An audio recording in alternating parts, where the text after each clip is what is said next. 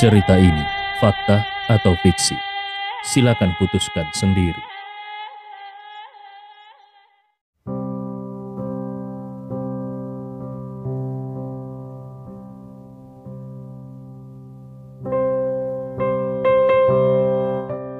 Mendengar kata-kata itu, Usman merasa putus asa. Dia selalu merasa sangat tidak senang dengan Gunung Bawakaraeng. Pada awalnya, kalau bukan karena dia perlu mengumpulkan obat-obatan secara langsung, dia tidak akan pergi ke tempat itu. Karena dia tidak menganggap tempat itu penting, maka dia juga tidak menganggap penting ibu dari Liam. Dia hanya berpikir kalau ibu dari Liam hanya mainan sementara. Dia tidak pernah bermimpi kalau Andi akan menghukumnya dan membuatnya tidak boleh meninggalkan Gunung Bawakaraeng seumur hidupnya. Itu adalah tempat yang selalu dibencinya. Memaksa dirinya untuk pergi ke sana dan tidak bisa meninggalkan tempat itu seumur hidupnya, apa bedanya hal itu dengan meminta nyawanya sendiri? Tubuhnya sudah sakit-sakitan, dan dia tidak akan hidup beberapa tahun lagi. Kalau dia pergi ke tempat seperti Gunung Bawakaraeng, dia mungkin akan mati lebih cepat, bukan? Hidup di tempat seperti itu bagi tua bangka yang menyukai kesenangan seperti dirinya, sungguh seperti tidak ada gunanya dia hidup. Dia menatap Andi dengan keputusasaan dan memohon dengan tangis. Tuan Andi, Aku tidak akan hidup lama lagi. Tolong beri aku belas kasihan. Aku bersedia menyerahkan produksi obat-obatan farmasi Ferry kepada Liam. Tolong izinkan aku tinggal di sini dan menjalani masa tua yang tenang. Andi Rewa dengan dingin bertanya, Apakah kau pernah berpikir bahwa ibu Liam sudah meninggal 20 tahun yang lalu? Kau bisa hidup 20 tahun lebih lama daripada dia saja itu sudah sangat beruntung. Jadi, untuk sisa hidupmu ini, kau pergilah ke Gunung Bawakaraeng dan bertobat dengan baik. Kau bukan hanya harus pergi ke gunung setiap hari untuk mencari tanaman herbal, tetapi kau juga harus membersihkan makam Ibu Liam setiap hari. Setelah berbicara, Andi melihat ke arah Liam dan memerintahkan, Liam, setelah kau menerima farmasi Ferry, Segera atur beberapa orang untuk pergi dan mengawasi mereka setiap hari. Pastikan mereka membersihkan makam ibumu setiap pagi, lalu pergi ke gunung untuk mengumpulkan tanaman herbal setiap pagi dan sore hari. Mereka tidak diizinkan menggunakan ponsel, internet, ataupun menonton televisi. Mereka harus bangun saat matahari terbit dan istirahat saat matahari terbenam. Kalau mereka berani bermalas-malasan, langsung patahkan kedua kaki mereka agar mereka menjadi orang yang tidak berguna. Liam sangat terkesan dan terharu. Andi bukan hanya membantunya mendapatkan farmasi Ferry, tetapi juga membantunya menghukum Usman dan Jeffrey. Yang lebih penting lagi, cara hukumannya adalah akhir yang sempurna yang tidak pernah dia bayangkan. Menyuruh kedua orang itu pergi ke Gunung Bawakaraeng untuk menghabiskan sisa hidup mereka di tempat yang mereka benci, terdengar sangat ironis dan juga sangat memuaskan. Dia sangat berterima kasih kepada Andi, jadi dia segera berlutut dan berkata dengan hormat, Terima kasih atas pertolonganmu Tuan Andi. Percayalah, aku pasti akan menyelesaikannya dengan baik. Andi Rewa hanya mengangguk, lalu melihat ke arah Usman dan Jeffrey Kemudian dia berkata dengan nada dingin, "Kalau kedua orang ini berani melarikan diri dari Gunung Bawakaraeng, maka perintah pengejaran senilai 500 juta secara otomatis akan diaktifkan. Selama mereka hidup, kalau mereka berani meninggalkan Gunung Bawakaraeng, mereka pasti akan mati." Ketika Jeffrey mendengar ini, dia menangis dengan putus asa Sebenarnya dia adalah orang kedua di farmasi Ferry. Dia memiliki jaringan luas di kota Makassar dan hidupnya sangat kaya serta menyenangkan. Namun tiba-tiba dia disuruh pergi ke Gunung Bawakaraeng untuk mencari tanaman herbal dan tidak diizinkan meninggalkan tempat itu seumur hidupnya. ini jauh lebih menyakitkan daripada dijatuhi hukuman penjara seumur hidup. Setidaknya kalau dia di penjara, dia masih bisa mencicipi sedikit atmosfer kehidupan modern. Tetapi kalau dia pergi ke Gunung Bawakaraeng, tempat yang pahit itu, bagaimana dia bisa bertahan? Mendengar itu, dia menangis dan berteriak putus asa. Tidak, aku tidak akan pergi. Aku tidak mau pergi ke Gunung Bawah Karaing untuk menggali tanaman herbal. Setelah berkata-kata, dia menatap Andi, lalu sambil menunduk dia berkata, Tolong ampuni aku. Aku bersedia meninggalkan kota ini dan tidak akan kembali, sehingga aku tidak akan lagi menyusahkan Liam. Tolong, jangan suruh aku pergi ke tempat seperti Gunung Bawah Karaing. Namun Andi sama sekali tidak memberi mereka kesempatan. Dia langsung memberi perintah kepada orang-orang di keluarga Ferry yang masih tersisa. Kalian semua anggota keluarga Ferry, dengarkan baik-baik. Mulai sekarang kalian hanya memiliki dua pilihan. Ikuti Liam Ferry dan bekerja dengan baik, Liam akan memastikan terpenuhinya kebutuhan kalian masing-masing. Atau ikuti mereka berdua ini dan pergi ke Gunung Bawah Karaing untuk mencari tanaman herbal. Setelah berkata demikian, Andi melanjutkan berbicara dengan serius. Aku memberi kalian waktu untuk memilih selama 10 detik. Pikirkan dengan baik dengan siapa kalian akan berada. Ketika Andi Rewa mengatakan ini, semua orang di dalam keluarga Ferry segera bergerak. Tanpa kecuali semuanya berdiri di belakang Liam. Usman dan Jeffrey langsung marah dan memaki Kalian para serigala berbulu domba, kami benar-benar salah pernah memelihara kalian di keluarga Ferry. Namun semua orang benar-benar mengabaikan kata-kata ayah dan anak itu. Jelas kalau ayah dan anak itu sudah kehilangan kekuasaan. Pada saat ini, bahkan orang bodoh pun tidak akan berdiri di belakang mereka dan kemudian pergi ke Gunung Bawakaraeng untuk mencari tanaman herbal seumur hidup. Jeffrey menangis histeris, sementara Usman bergetar penuh ketakutan dan juga kemarahan. Melihat situasi yang sudah tidak terelakkan, Jeffrey hanya bisa menatap Liam dan memohon, Adikku, meskipun kita tidak memiliki ibu yang sama, setidaknya kita memiliki ayah yang sama. Setengah dari darah kita adalah sama, jadi tolonglah saudaramu ini. Mintalah kepada Tuan Andi untuk memberi pengampunan. Masa depan keluarga Ferry akan menjadi milikmu. Aku tidak menginginkan apa pun selama kau tidak mengirimku ke Gunung Bawah Karaeng.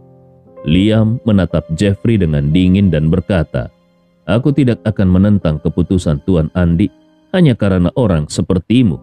Apalagi selama bertahun-tahun kau tidak pernah memperlakukan aku sebagai saudara.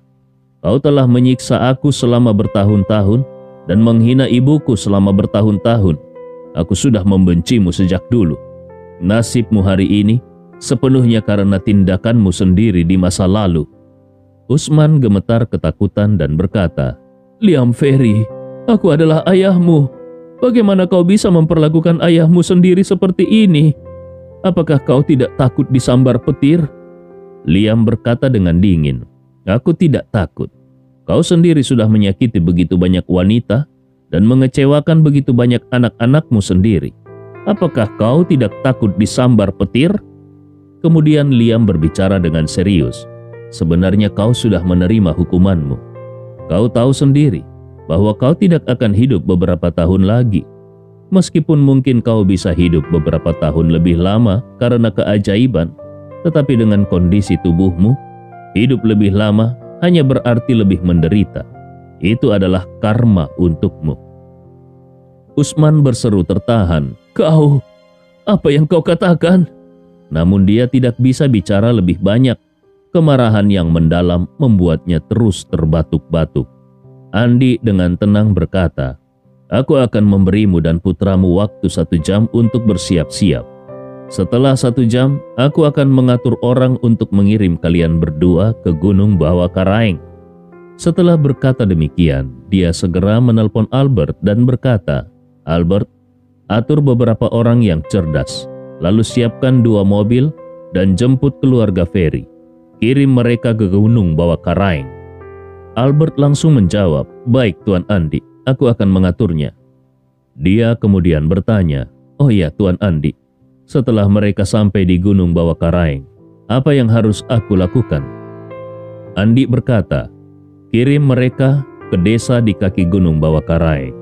Setelah itu, belikan mereka sebuah rumah kecil yang bisa melindungi dari angin dan hujan. Biarkan mereka tinggal di situ. Berikan mereka sedikit beras, tepung, minyak, dan gula. Ke depannya, mereka akan menjadi orang-orang gunung bawah karaing. Mereka akan hidup dan mati di sana. Bahkan kalaupun mereka mati, mereka harus dikubur di kaki gunung bawah karaing. Albert langsung menjawab, Aku mengerti Tuan Andi. Usman dan Jeffrey duduk terkulai di lantai sambil menangis terseduh-seduh. Sampai saat ini mereka masih enggan menerima nasib mereka untuk diasingkan ke Gunung Bawah Karaeng. Melihat mereka masih ragu-ragu, Andi berkata dengan dingin, "Kalau kalian tidak bersiap sekarang juga, maka ketika nanti Albert datang, kalian hanya akan pergi dengan pakaian di badan kalian." Ketika mendengar ini, ayah dan anak itu tiba-tiba menyadari bahwa kalau mereka berlambat-lambat lagi, maka ketika orang-orang Albert datang, mereka akan benar-benar pergi ke Gunung Bawah Karaeng dengan tangan kosong. Maka ayah dan anak itu saling menatap, lalu mereka bangkit dengan putus asa dan menangis sambil pergi ke kamar masing-masing untuk mengemas barang-barang. Pada saat ini mereka sudah sepenuhnya menyerah karena kekuatan yang ditunjukkan Andi sudah jauh melampaui batas yang bisa mereka tanggung. Orang-orang lain dari keluarga Ferry berusaha menghindari ayah dan anak itu dengan sebaik-baiknya. Bahkan meskipun Usman memiliki masalah kesehatan dan kesulitan bergerak, tetapi mereka tidak ingin membantunya. Setelah semua yang terjadi, tidak ada yang ingin menghadapi kemarahan dari orang baru yang bertanggung jawab atas keluarga Ferry, yaitu Liam Ferry, dan tidak ada juga yang ingin menantang Andi, yang memiliki kekuasaan dan tidak terbantahkan. Ketika ayah dan anak itu sedang mengemas barang, Albert dan beberapa anak buahnya tiba. Kali ini Albert telah mengatur enam orang anak buah yang cakap, dan tiga mobil. Mereka siap untuk pergi ke Gunung Bawah Karaeng. Anak buah yang dipilih Albert adalah para preman senior yang jago seni bela diri. Dengan kehadiran mereka, ayah dan anak dari keluarga Ferry tidak akan memiliki kesempatan untuk melarikan diri. Bahkan Andi merasa kalau ayah dan anak itu pasti tidak akan mungkin berani untuk melarikan diri karena kalau mereka melarikan diri, mereka akan diburu oleh berbagai pihak. Pada saat itu, mereka benar-benar bisa kehilangan nyawa mereka. Jadi lebih baik mereka pergi ke Gunung Bawah Karaeng dan mencari tanaman herbal. Setengah jam kemudian, ayah dan anak dari keluarga Ferry yang telah mengemas barang-barang ke dalam dua koper besar keluar dari kamar mereka dengan wajah penuh putus asa. Andi melihat ini dan berkata, Orang dan mobil yang akan mengantar kalian sudah tiba. Segera naik ke mobil, kalian berangkat sekarang. Kedua orang itu hanya bisa mengangguk dengan penuh keputusasaan. Kemudian mereka dibawa pergi oleh beberapa anak buah Albert. Ketika pergi, keduanya terus melihat ke belakang. Mereka sangat enggan meninggalkan rumah ini. Saat ini Usman merasakan penyesalan yang teramat besar di dalam hatinya. Kalau dia tahu akan seperti ini jadinya, dia seharusnya memberikan posisi ketua direksi yang sudah dia janjikan kepada Liam segera setelah krisis diselesaikan. Dengan begitu, Liam pasti tidak akan mengusirnya ke Gunung Bawah Karaeng. Jadi semua yang terjadi hari ini sebenarnya adalah kesalahan yang dia lakukan sendiri. Liam melihat dengan mata berkaca-kaca saat Usman dan Jeffrey naik ke mobil. Mobil-mobil tersebut meninggalkan rumah keluarga Ferry dan menuju ke Gunung Bawah Karaeng. Bahkan setelah konvoi itu lenyap dari pandangannya, Mata Liam masih berkaca-kaca dengan air mata. Setelah itu dia berjalan ke hadapan Andi dan tanpa berkata apa pun dia langsung berlutut di depan Andi. Lalu kemudian dia berkata dengan suara tercekat, Terima kasih karena Tuan Andi sudah mengabulkan permohonanku. Dua keinginan besar dalam hidupku akhirnya terwujud. Mulai sekarang, hidup dan matiku sepenuhnya ditentukan oleh Tuan Andi. Dan farmasi Ferry juga milik Tuan Andi. Sepanjang hidupku, aku akan selalu mendengarkan perintahmu.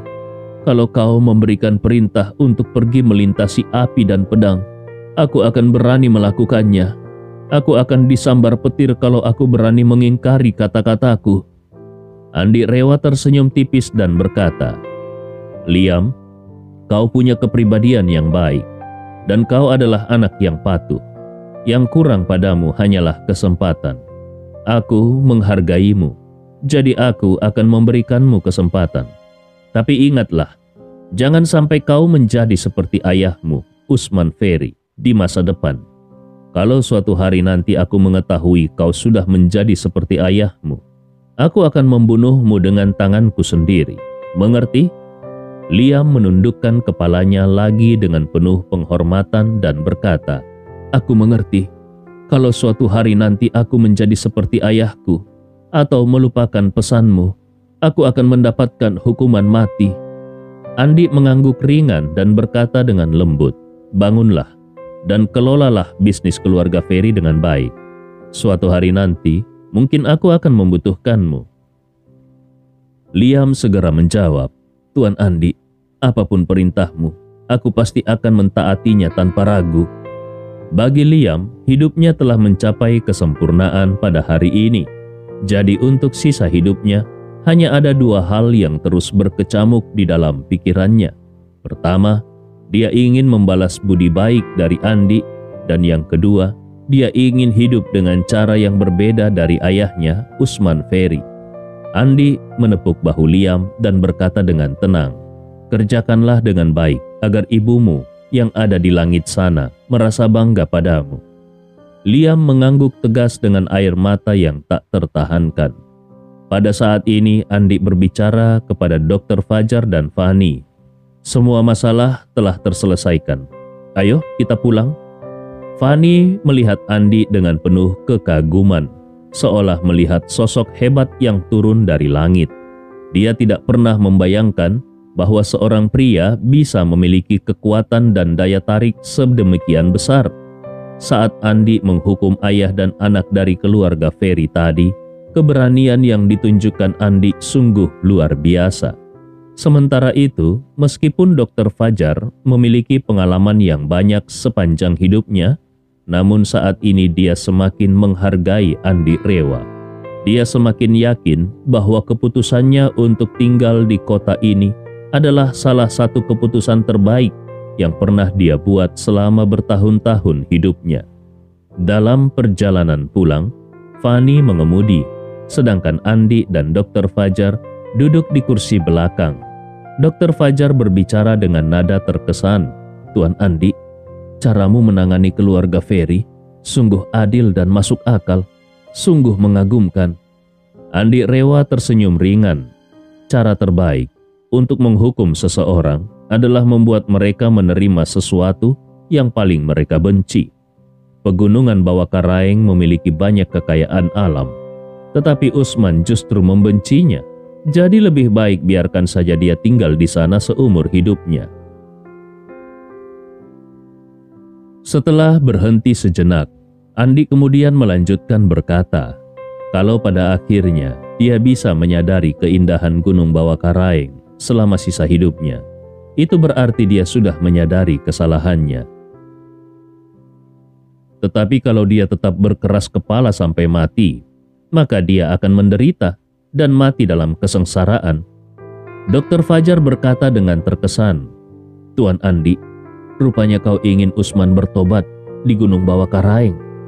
Andi menjawab dengan tenang, Aku tidak sehebat itu hingga bisa membuatnya bertobat. Aku hanya ingin memberinya pelajaran yang cukup, yang cukup dalam untuk sisa hidupnya. Apakah dia bisa bertobat atau tidak? Itu tidak ada hubungannya denganku.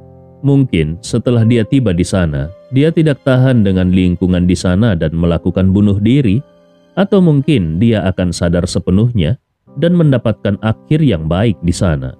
Tapi semua itu tergantung pada dirinya sendiri, bukan padaku. Dokter Fajar memberi hormat, Tuan Andi, kau adalah orang yang bijaksana. Andi menggelengkan kepalanya. Aku tidak begitu bijaksana. Aku hanya memiliki sedikit kecerdasan.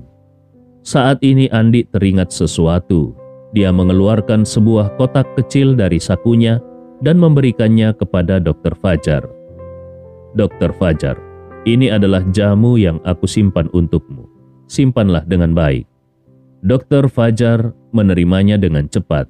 Terima kasih, Tuan Andi.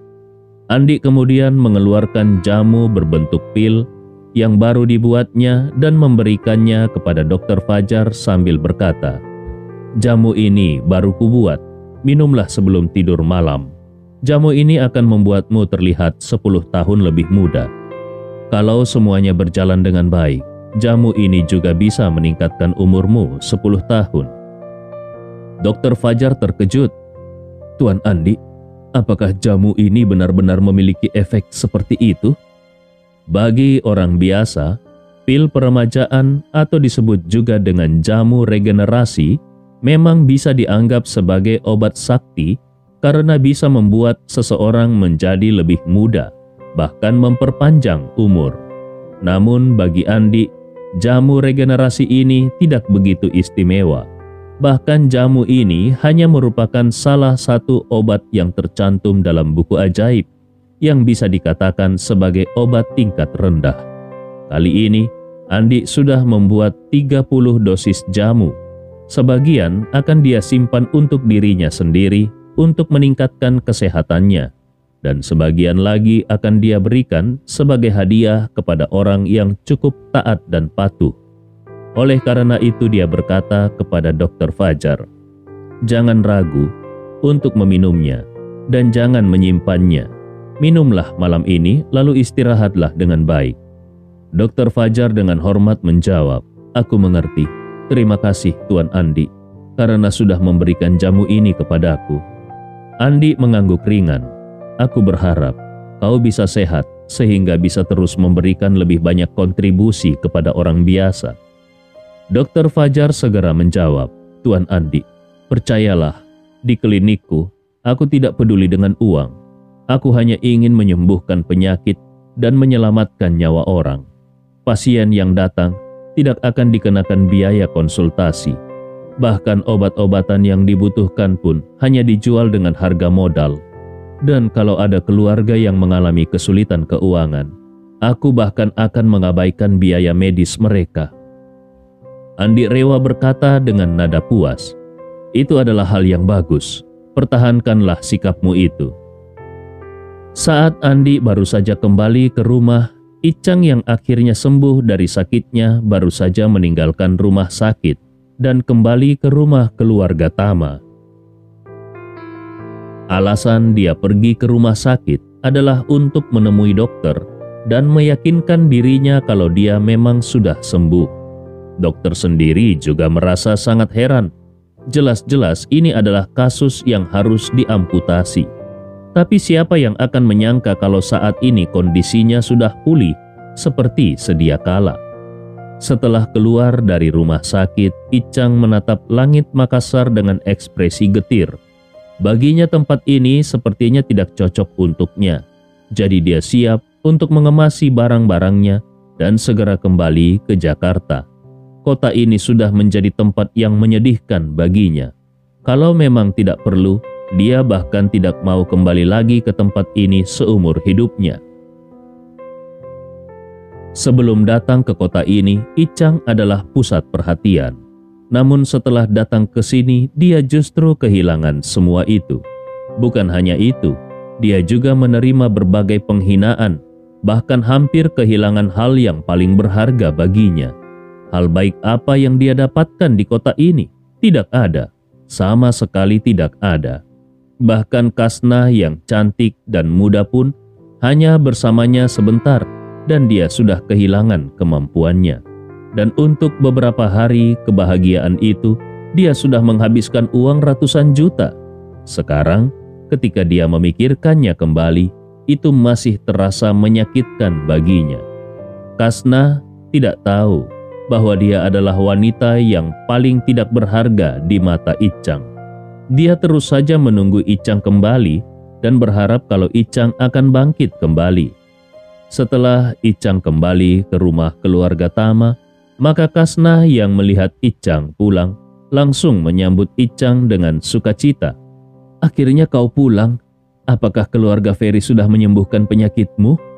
Icang dengan jengkel menjawab, keluarga Ferry sama sekali tidak bisa menyembuhkan penyakitku. Akhirnya aku dibantu oleh Andi. Kasna bertanya dengan tergesa-gesa, Kau dibantu oleh Andi. Apakah dia yang menyembuhkanmu? Icang menghela nafas dan berkata, dia hanya menyembuhkan lukanya. Tapi aku masih tidak bisa. Kasnah berkata dengan wajah marah, kalau begitu kau tidak boleh melepaskan keluarga Ferry begitu saja. Terutama si Jeffrey itu. Dialah yang menipumu dan membuatmu meminum obat keluarga Ferry. Keluarga Ferry sudah membuatmu sangat menderita. Mereka harus menyembuhkanmu apa pun yang terjadi. Icang dengan wajah dingin berkata, hari ini Andi ada di sini.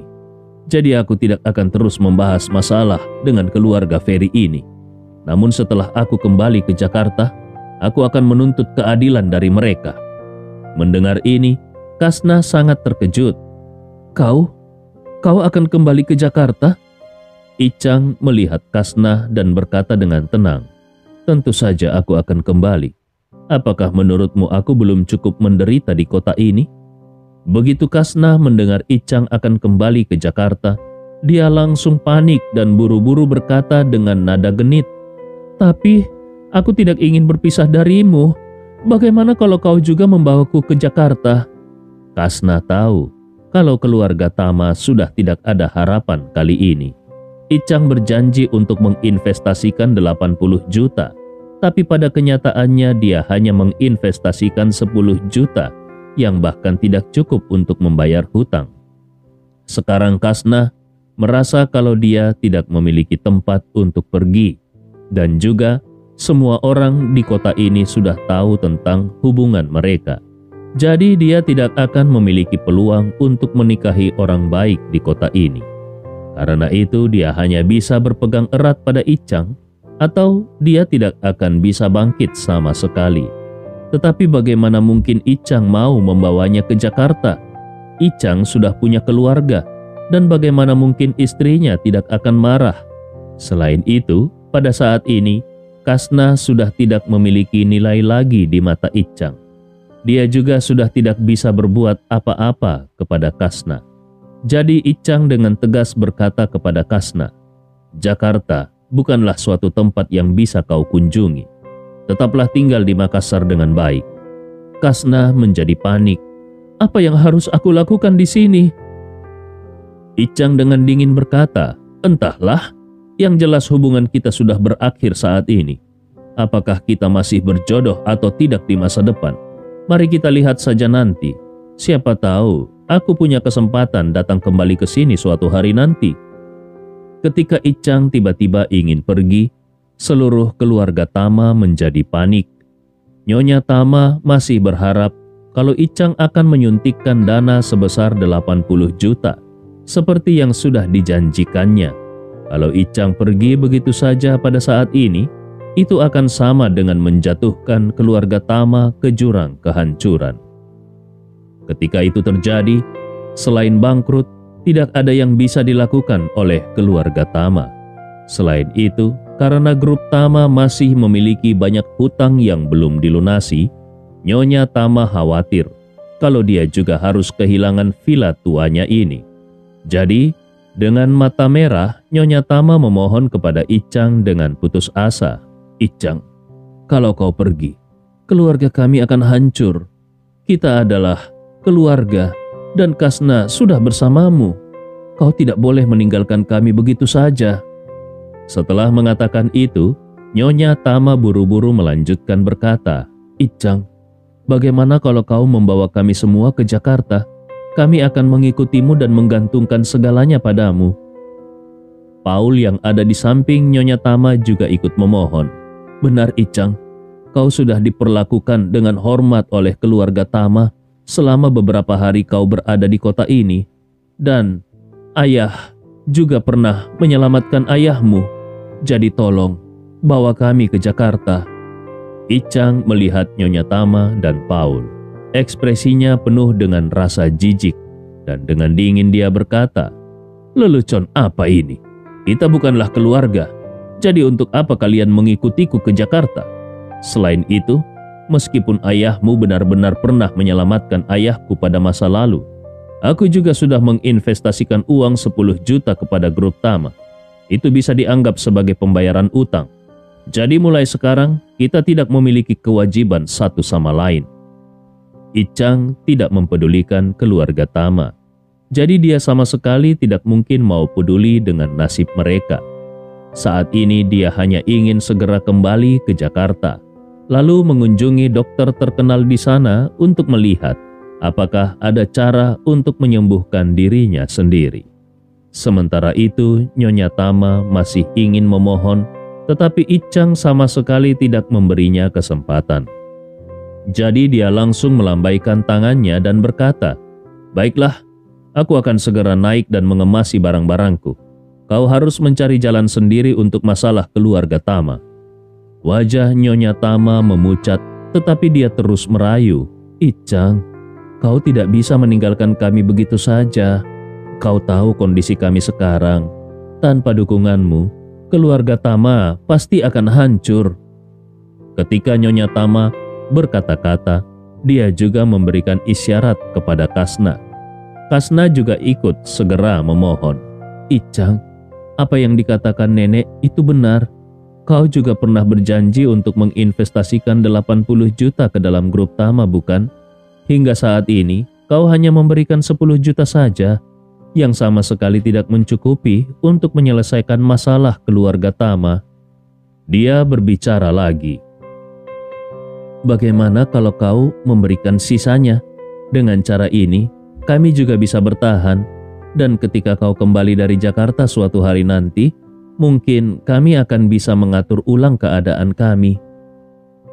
Yang lainnya juga menunjukkan ekspresi penuh harapan.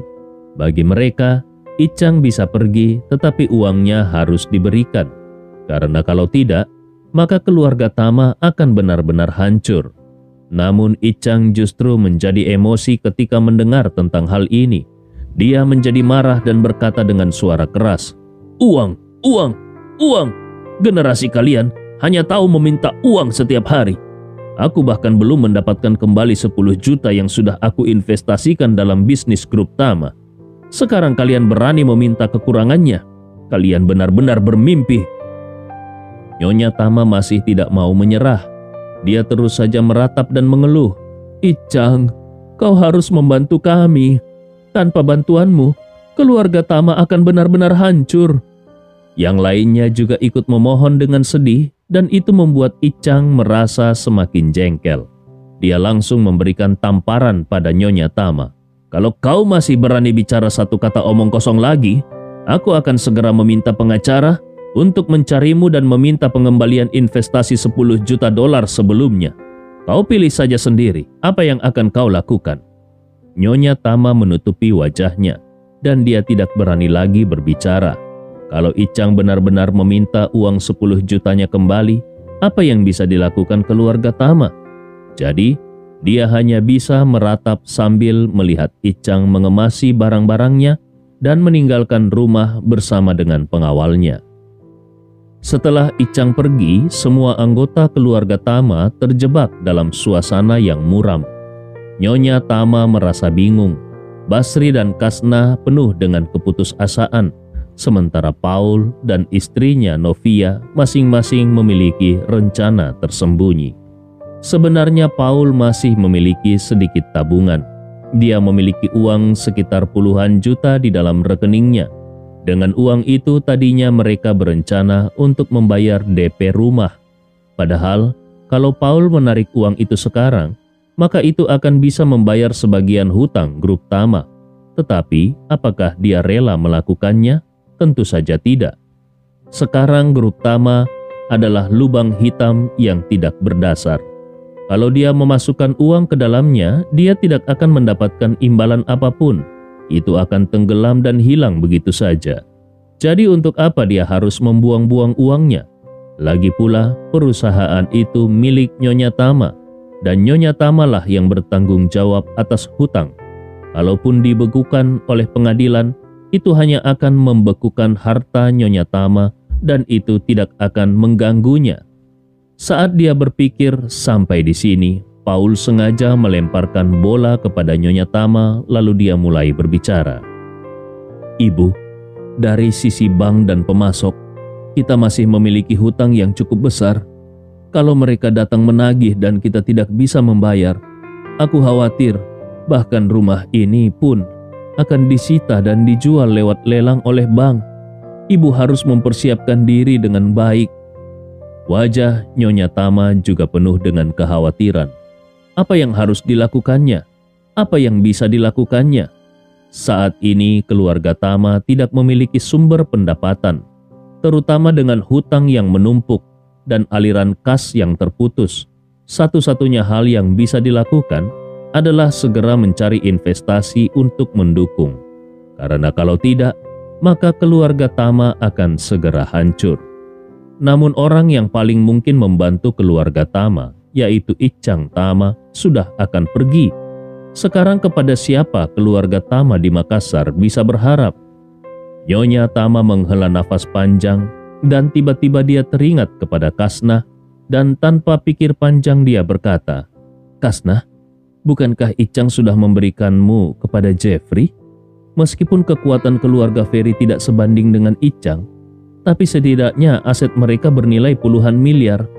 Apakah kau bisa memohon padanya dan mencari cara agar dia bisa menginvestasikan beberapa ratus juta untuk membantu kita melewati masa sulit ini?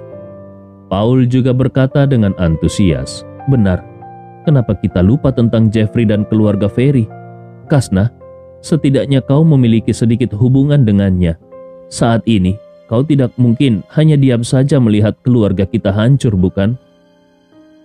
Pada saat ini Kasna sudah tidak peduli lagi dengan rasa malu. Dia hanya berpikir bahwa Jeffrey memiliki kemampuan untuk membantu keluarga Tama menyelesaikan masalah mereka.